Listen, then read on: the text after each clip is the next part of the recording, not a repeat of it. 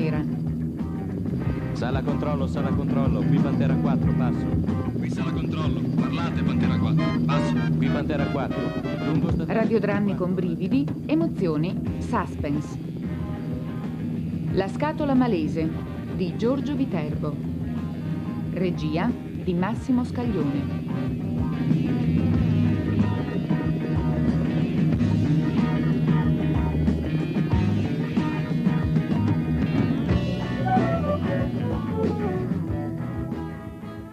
Esami parlano chiaro.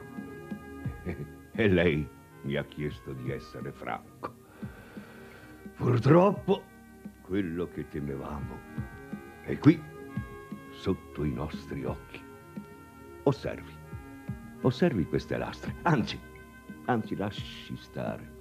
Non voglio annoiarla con particolari tecnici. Ah, se vorrà, potrà consultare altri specialisti, ma, ma creda, mm, non c'è molto da fare. Qualcuno, ne sono sicuro, le proporrà di operarsi, ma non gli dia retta. Il rischio è di lasciarci le penne. E le probabilità di successo? Per me, meno che zero. Sono pronto a sottoscriverglielo. Non vorrei apparire retorico, ma vorrei sottolineare la cosa più importante. La vita. La vita continua. Eh, Ci sono state altre persone sedute al suo posto lì, alle quali ho dovuto dare responsi inappellabili. Si trattava della vita, vale a dire della morte. Nel suo caso, invece, la vita continua. Sono certo che lei avrà la forza di capire, anzi, anzi, già mi pare di vederlo, oserei dire sereno. Ah, lei ha tutta la mia ammirazione. Io sa, sono un vecchio medico, un po' trombone, ma il suo coraggio mi lascia davvero ammirato. Tanto di cappello, se lo lasci dire. Chapeau! E al giorno d'oggi, mi creda, è ben raro che di fronte al destino... E questo? È per me. Oh, ma, ma la sua gentilezza è davvero squisita. Ma lei mi confonde. Oh, oh, che, deliziosa scatola. Un carillon. Provo a indovinare. Sigari? Posso aprire? Scusi, sa, scusi la mia curiosità, ma... E questo cosa mai sarebbe? Ah, comincio a capire. Sono un uomo di mondo e certo che una cosa simile farebbe arrossire anche un soldato. Mi perdoni, e mi perdoni, ma, ma è davvero, davvero eccessiva. Ma sì, lei, lei mi vuole morto. Ah, ah, ah.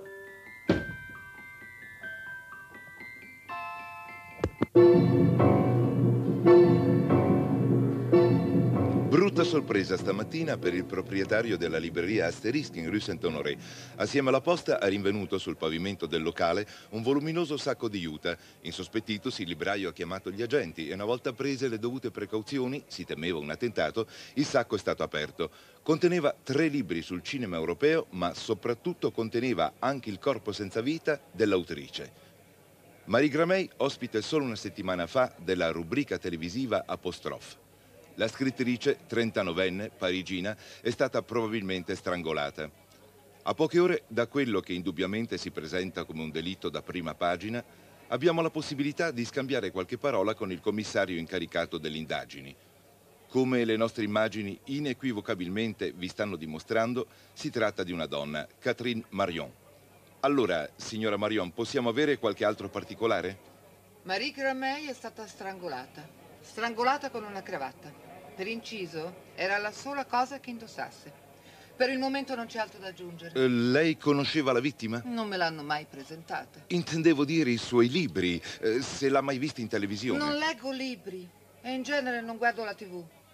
Perché non mi chiede cosa prova una donna commissario ad indagare sulla morte di un'altra donna? Cosa prova una donna commissario a indagare sulla morte di... Siamo in diretta? Eh, sì, ma eh, cosa vuol dire? Lei è un perfetto idiota, l'assicuro. Chieda pure in giro. Eh, eh, eh, è tutto per il momento.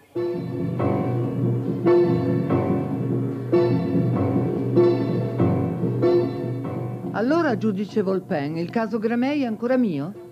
Lei è una creatura giovane, altera e affascinante. Se le togliessi il caso, l'opinione pubblica mi polverizzerebbe nel giro di due ore. Diverrei l'uomo più odiato di Parigi. Adesso è lei il personaggio del momento. Anche dopo quell'intervista? Ah, soprattutto. La figura del cretino l'ha fatta l'intervistatore. Lei ne è uscita benissimo. Un po' per quello che ha detto, un po' diciamo per meriti telegenici. Lei è sempre molto galante, giudice Volpen. Ma ha mai considerato che potrei essere sua figlia? Mi rincresce, ma non ho mai conosciuto sua madre. Eh, tornando a noi, questo caso occuperà le pagine dei giornali per tutta la settimana. Le auguro di risolverlo in breve tempo, perché sa come vanno queste cose. Come vanno queste cose? Beh, ora parleranno di lei, della povera Gramei nuda con la cravatta, e un po' bruttina, devo dire, e anche della giovane e bella Catherine Marion. Mm. Dopo un po' di gran cassa, diciamo, eh, sabato prossimo qualcuno scriverà Marion sarà anche una bella donna, ma è anche capace di fare il suo mestiere o è tutto fumo? E così incomincerà a diventare un po' meno popolare. Lei non legge, se ne frega della tv, non crede che le massaie della banlieue la prenderanno a benvolere e nemmeno gli intellettuali della rive gauche. Qualcun altro scriverà è protetta in alto e a quel punto... Starebbe a lei smentire la cosa, togliendomi il caso. Coraggio, sono sicuro che una settimana le basterà. D'altronde chiasso a parte non dovrebbe poi essere un delitto insolubile, un chiaro crimine a sfondo sessuale. O no? Lei ha qualche idea? Qualcosa di molto vago. Ho bisogno di un consulente, un critico cinematografico. E posso sapere il nome del fortunato? Un certo Georges Mézy o Chesy, qualcosa del genere. È il più esperto? Il più bello.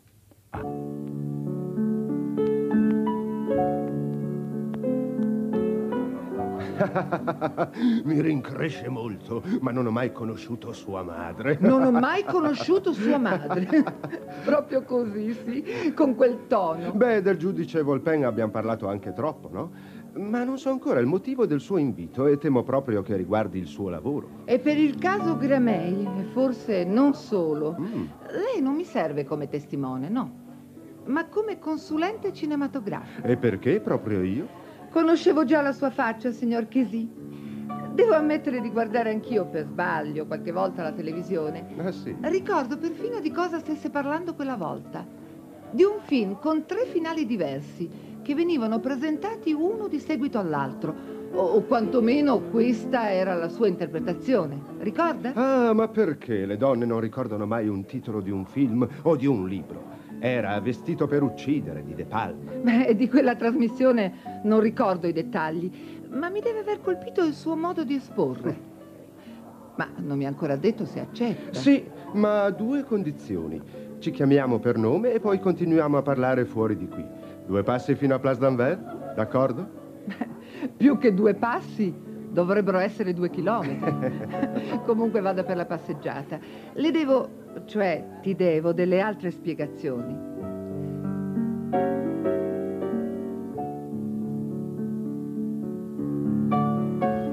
Marie Gramey aveva scritto dei romanzi, ma era essenzialmente una critica cinematografica. Aveva una rubrica fissa su due quotidiani e aveva scritto anche dei libri sul cinema. Sì, quelli che hanno messo nel sacco assieme al corpo. Già, è un modo un po' teatrale di comporre mm. il delitto, no? Il fatto è che non ci sono impronte. Il sacco è arrivato col postale e quindi gli unici indizi che ho sono i fatti. I fatti come li ha composti l'assassino. Insomma, più che un delitto, sembra un messaggio. Un delitto senza movente o un messaggio per addetti ai lavori? Beh, questo me lo devi dire tu. La nostra ipotesi è che in ballo ci sia il lavoro di Marie Gramey, il cinema. Ah, la vita non è un film, però. È piena di tempi morti. Io mi interesso solo dei film. Ma scusa, tu ci vai al cinema? Sì, come tutti. Anche se poi dimentico i titoli, il regista e... E le critiche sui giornali, quelle, le leggi o no? No, mai, mai. Allora come fai a scegliere film? Eh, Faccio come scelgo un uomo. Rischio. Non male, ma non è tua. Come sarebbe non è mia? La stessa battuta la dice Lino Ventura agli amici di Françoise Fabian nel primo tempo di Una donna e una canaglia. Lelouch, 1970. Davvero? Non credo di aver visto quel film. Guarda, eh, Senti, che c'è? Non vorrei allarmarti, ma c'è un tizio che ci sta seguendo. Si chiama Penson. È il mio angelo custode, dopo le otto. non è un brutto lavoro, mi piacerebbe essere il tuo angelo custode. Ho fatto la figura dello stupido, eh? Hai la possibilità di riscattarti. Che mi dici della morte della Gramei? Frenzy. Cioè? Frenzy di Alfred Hitchcock, 1972. C'è un maniaco sessuale che uccide delle donne non particolarmente appetibili, strangolandole con delle cravatte. Una in particolare viene nascosta in un sacco di patate. Non stai bleffando? E Se l'ipotesi è quella giusta, l'assassino non stimava molto Marie Gramel. La citazione del film sottolinea che la vittima non era una bellezza e i suoi libri vengono paragonati a delle patate. Suona incoraggiante. Ed ora senti questa. Un uomo morto per soffocamento, probabilmente strangolato, a un centinaio di metri da un Luna Park nel Bois de Vincennes, accanto al corpo degli occhiali rotti, che dalla misura sembrano non appartenere alla vittima. Ma l'ultimo particolare è il più assurdo. Legato alla manica, quello che resta di un palloncino per bambini, probabilmente fatto scoppiare da una sigaretta. È una storia vera. Come la vita, George. Delitto per delitto, sempre di Hitchcock, 1951. L'assassino strangola la sua vittima nei pressi di un Luna Park. La scena è vista nel riflesso degli occhiali dell'assassino, caduti nell'erba. È una scena molto bella. E il palloncino? Prima di uccidere, l'assassino si toglie lo sfizio di far scoppiare con la sua sigaretta il palloncino di un bambino. È la scena che precede il delitto. E il messaggio? Quale potrebbe essere? Beh, la trasposizione più eclatante mi sembra legata al sesso. Tu hai parlato di un uomo, mentre nel film la vittima è una donna. Considerando la citazione dell'incontro col bambino, si potrebbe interpretare il tutto come un'accusa e non troppo velata di omosessualità e pederastia. Eppure non ho letto niente di simile sui giornali. È un delitto di 15 giorni fa.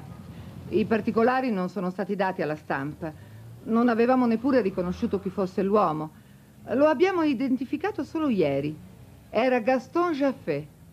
Ti dice nulla? No, no, nulla. È stata una lettera anonima a darci queste notizie. L'uomo viveva da solo e nessuno aveva reclamato la sua scomparsa. La lettera diceva che nel suo ambiente Jaffé era più noto come Albert. Ah, Già, avevamo pensato alludesse ad ambienti particolari. Invece abbiamo scoperto che Albert era il più famoso articolista dei Cahiers du Cinéma, la più sofisticata delle riviste di critica cinematografica. Albert è, anzi, era quasi un'istituzione e un po' anche un mistero. Nessuno sapeva se quello fosse o no il suo vero nome. Chi ha ucciso Albert e la Gramei è forse tra quei 20 appassionati cinefili. Questo semplificherebbe molto il mio caso e anche la mia carriera. Vabbè, ci penserò domani, per stasera basta col lavoro. Mi sei stato molto utile, George. Grazie. Devo andare, sono attesa. C'è qualcuno che ti aspetta a casa? Sì, Tuo marito? no, Maschio o femmina? maschio. E mm, vive con te? Sì, Ed è geloso. morbosamente. Eh, lo sarei anch'io. Buonanotte, Catherine. Arrivederci.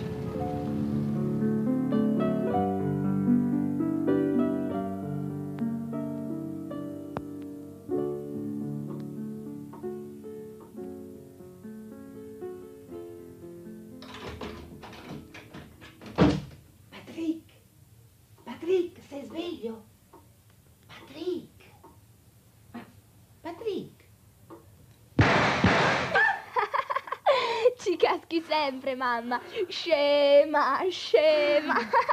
Lo faccio solo per farti contento. Del resto ogni sera è la stessa storia. Dicono che i bambini amano reiterare, ma tu sei veramente instancabile. Patrick, ormai hai sette anni.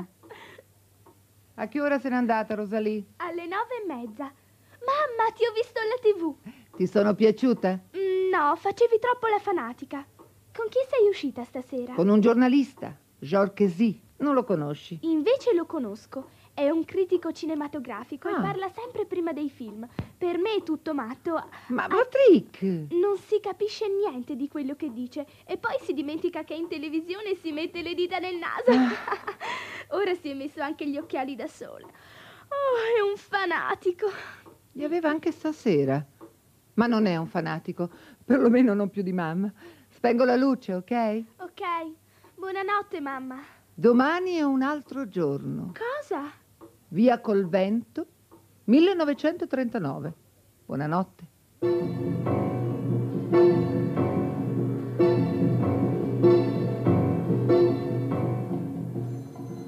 Mi raccomando, commissario Marion, eh, certo è un'ipotesi affascinante, però sa, c'è il rischio di prendere per oro colato quello che poi è solo fumo. Detto tra noi, come si fa a dare tanta importanza al cinema? cinema, Ma questi sono tutti dei bambini e se noi ci mettiamo a ragionare come loro, addio. Eh, comunque le accordo ancora la mia fiducia, commissario. Lavori pure con tutto il suo acume al caso, o ai casi, visto che lei dice che sono due. Arrivederci, giudice. Eh, la lascio. Ho fatto mettere il centro di elaborazione dati a sua completa disposizione. E buona fortuna. Pronto? Ciao, sono George. Credevo fosse più complicato parlare con te. In fondo mi hanno fatto aspettare in linea solo mezz'ora. Ti darò il numero diretto, va bene? Se te lo saprai meritare. È una settimana che non ci sentiamo. Ho avuto delle intuizioni formidabili. Tipo?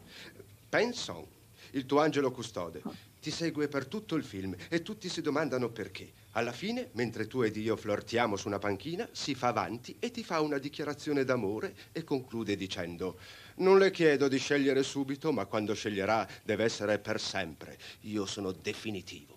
E si allontana. Non mi sembra Hitchcock. E infatti, è Truffaut, Baci rubati, 1968. Penso non è tra i nostri sospetti.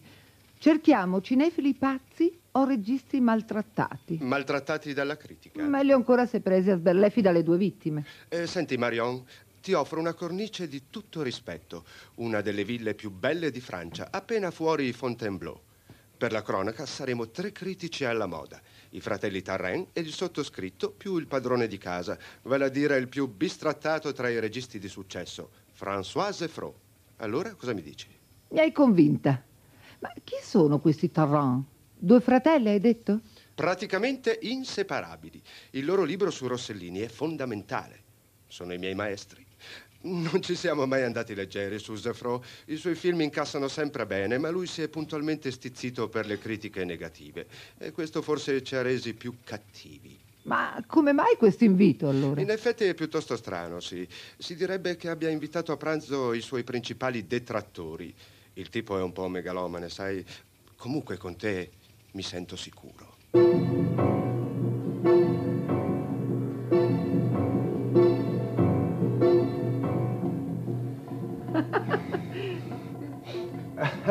Catherine, ti presento Christian Tarrant. Piacere, Molto piacere. Eh, scusa, hai per caso notizie di Jacques? Avevamo appuntamento qui mezz'ora fa. Lui di solito è talmente puntuale, tu sai, no, non l'ho sentito. Vedrai che sarà qui a momenti. Piuttosto non facciamo aspettare il nostro anfitrione. Ma dov'è? Ma ci aspetta in cima alla gradinata. Fanno così anche i capi di Stato, no?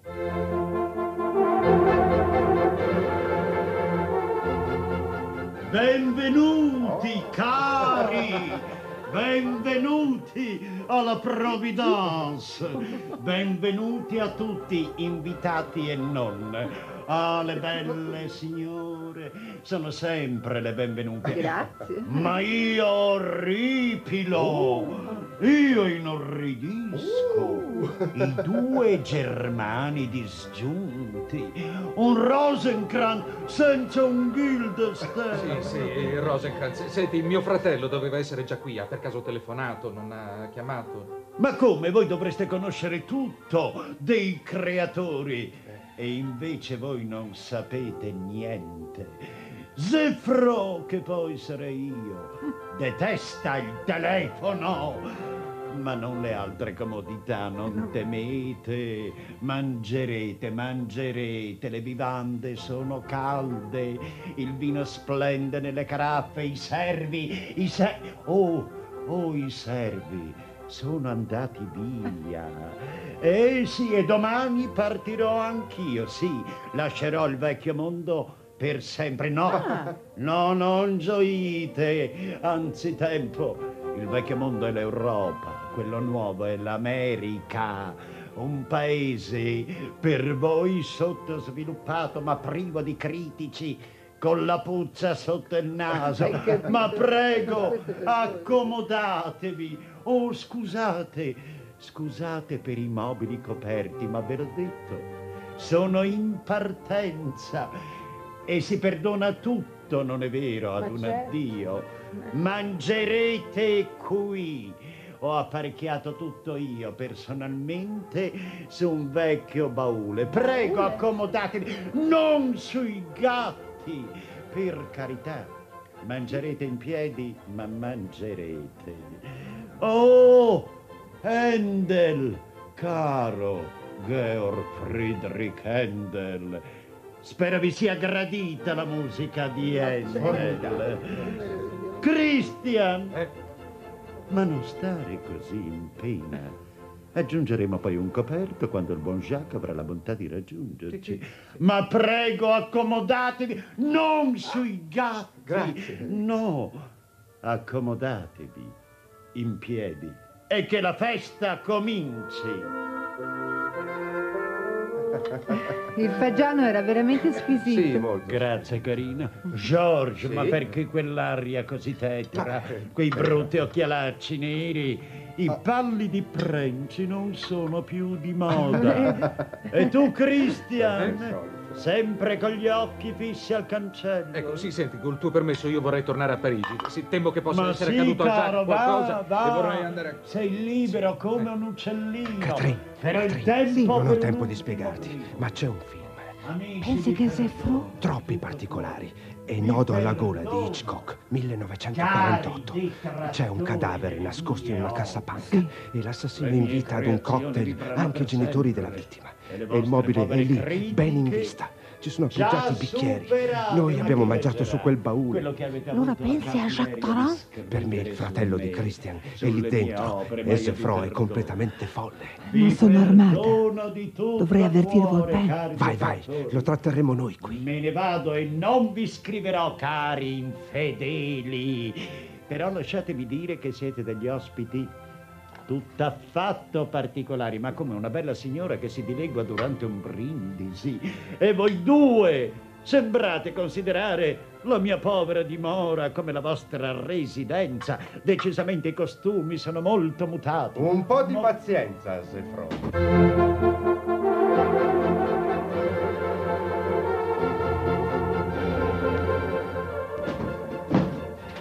Sono il giudice Volpen. E lei, François Zefro? Sì, sembra di sì. Per favore, tenga le mani sopra la testa. Commissario Marione, è quello il baule? Ma come una donna commissario? Ma cosa cercate voi là dentro? Il corpo di Jacques Taran. Criminale! Mio fratello, hai ucciso mio fratello! Calmi, Cristiano! Jacques, aiutami ad aprire il baule. Penson, tenga d'occhio l'uscita. Ma di cosa mi incolpate? Chi avrei ucciso? Jacques Taran. Ma temiamo anche Marie Gramey Ah, e Gaston ma Jaffé. voi- Ma voi siete tutti matti, come cavalli. Lo vedremo subito. Apra, commissario.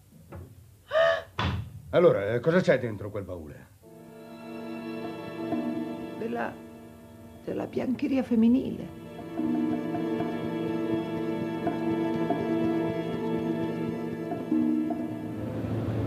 Catherine, scusa se ti ho fatto guidare, ma col buio. Non è ancora buio. Ma sei, sei inquieta.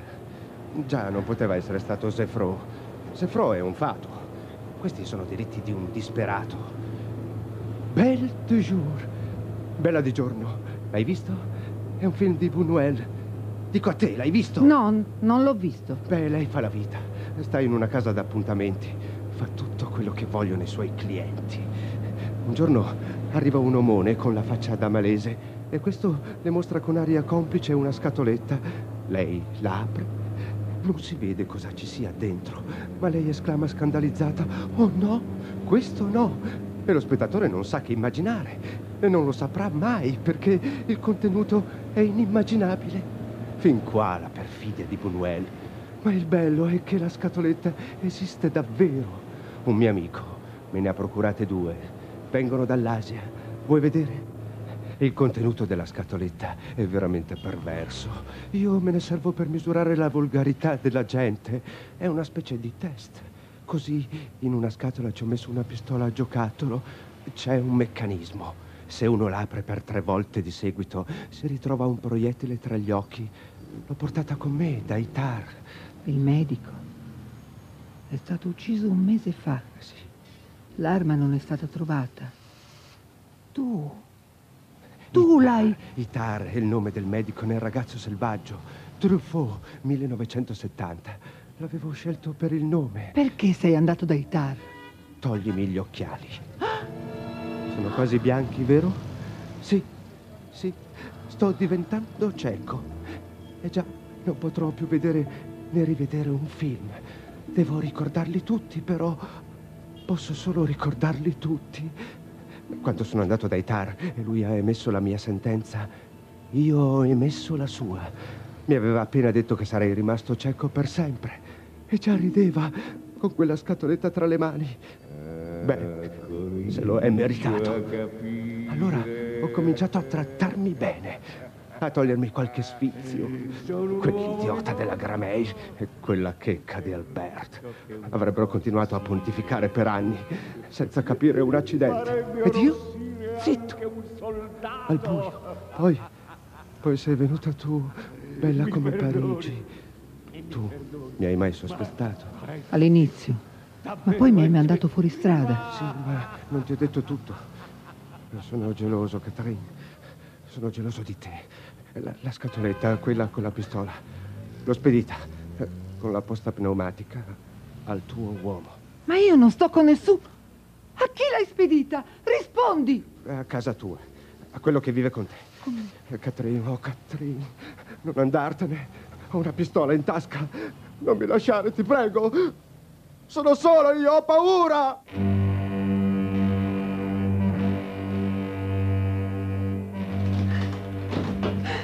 Patrick! Patrick! Patrick, rispondi! Ti prego, rispondi! Scema, scema. Ma sei tutta bagnata. Che... Stammi a sentire, Patrick. Deve essere arrivato un pacchetto. Ah, ah sì, la scatoletta. Dov'è? Può essere pericolosa. Eh, veramente l'ho rotta. Rotta? Rosalino me la voleva far vedere. Anzi, è diventata tutta rossa, ma non mi ha saputo spiegare niente. Così l'ho aperta tutta, ma non c'era niente. Niente? Si è rotta anche la molla, è rimasto solo questo. Eccola. Attento! Dai qua. Non c'è nulla, per fortuna. George deve aver scambiato per sbaglio le due scatole. Così quella per uccidere è rimasta a lui.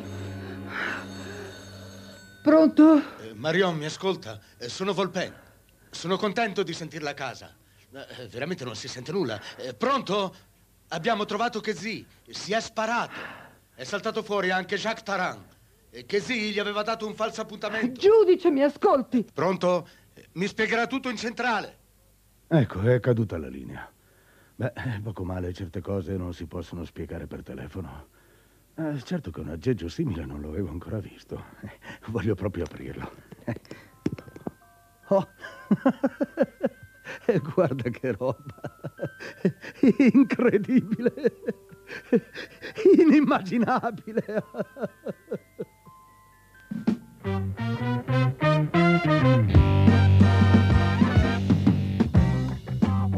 Abbiamo trasmesso per Giallo Sera La scatola malese di Giorgio Viterbo. Hanno preso parte Marisa Bartoli, Marina Bergadano, Domenico Brioschi, Enrico Longodoria, Renzo Lori, Andrea Matteuzzi, Riccardo Montanaro, Franco Vaccaro. Coordinamento della produzione Maria Grazia Panighini. Tecnico del suono Vittorio Attamante. Assistente alla regia Giuseppe Molino. Regia di Massimo Scaglione. Programma realizzato dal Centro di Produzione di Torino della RAI.